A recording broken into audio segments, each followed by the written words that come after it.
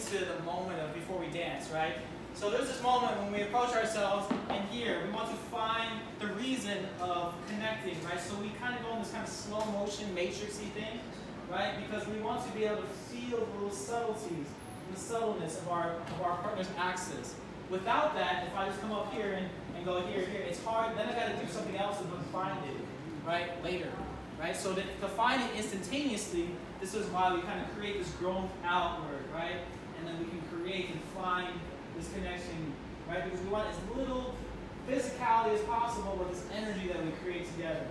And then to find our axis and the move, remember that it's not bending downwards where my embrace goes down. I want to keep my embrace up. So I need to bend my knee or bend my leg using my hamstring mostly and my glutes muscle, right, to bend in a way where my embrace does not drop.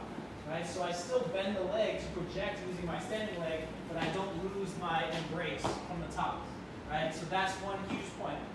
And then we transition into here, which is I lead a forward step, and then I make her pivot, and then when she goes pivot, I, I go into her here. Right? I block off here, so we're chest to chest. And I'm turned here, I'm facing here, and I'm um, meeting her here face to face. And my, my back leg is free. All my weight is transferred to my front because I want to go this way, behind me. Right? So then I lead her forward into me, and then I cross and walk back out.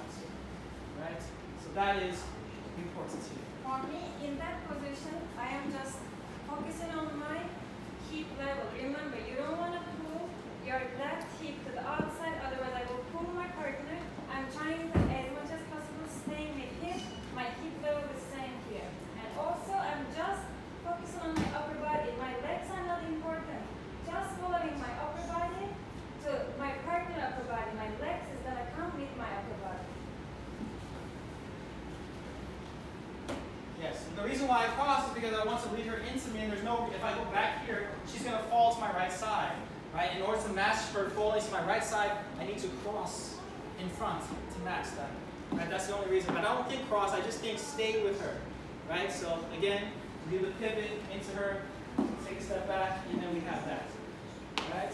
And remember, it's important to find the energy of our embrace, the elasticity, the flexibility is what's created. And then whenever we change, she feels that with my embrace, whether I give her a lot of room with my embrace or I close it in. Because if I close it in, it's something else, right? We can create longest steps or something faster, right? We can do stuff faster when I have more compressed embrace.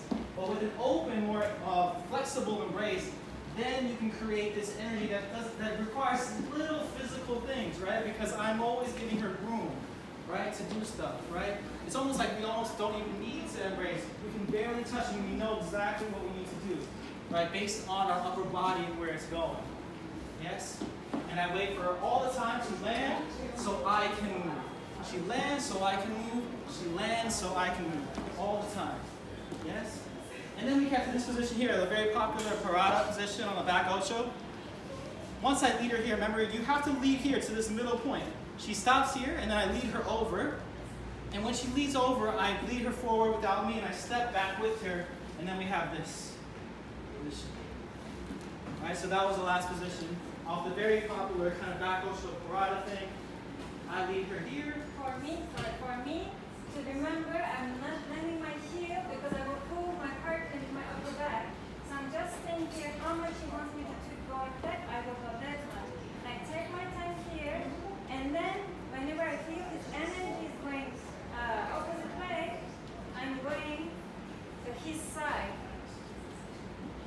And my upper body still with him.